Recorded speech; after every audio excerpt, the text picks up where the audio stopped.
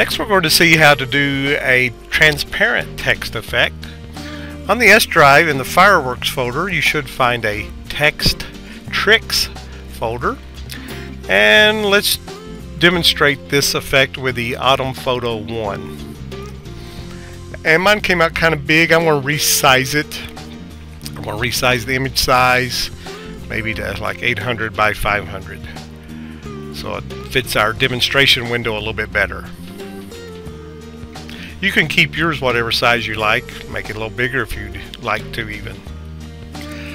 Again like with most text effects the font you choose is uh, going to have an influence on how well your text effects looks.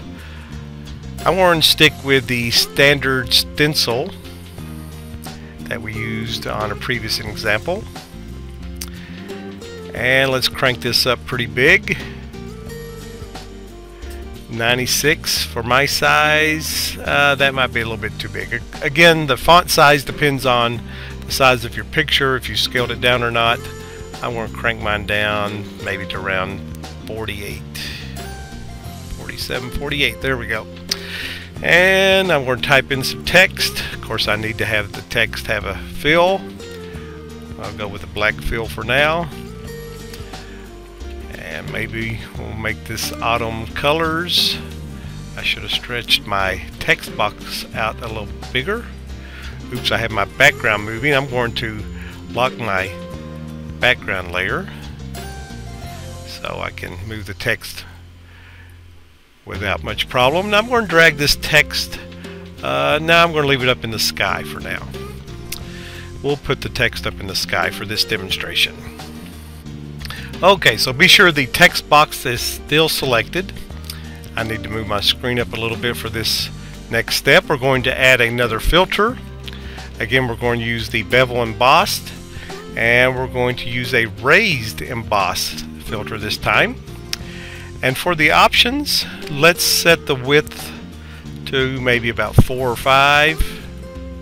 And again, feel free to experiment with this as you're doing yours to see what that setting actually does. And we're going to change the contrast all the way up to 100%. Softness, two or three should be good. And the angle, let's choose a smaller angle, somewhere around 40 between 30 and 40. There we go. And finally, we want to unclick the Show Object checkbox. And there we have our nice transparent text. Of course, you can still move the text around. If you don't like it in the sky, you could move it down over the trees. You could actually double click on the raised emboss filter that's already down in the bottom properties panel and make some further adjustments if you wanted to.